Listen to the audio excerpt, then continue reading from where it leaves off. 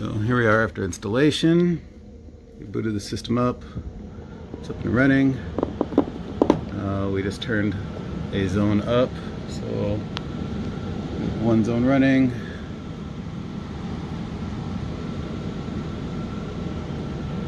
It's starting to heat. We're making it satisfy the set point. We can watch these outputs. Will change after a short delay. Uh, I think I'll turn on, say I just want the fan on zone two. There we go.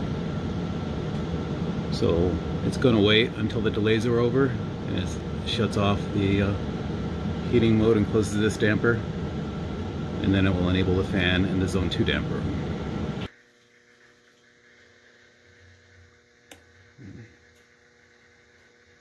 There we go. Zone 2 damper has opened and the fan uh, has been commanded on.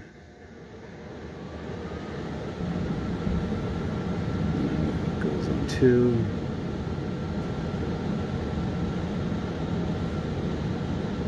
Back in auto.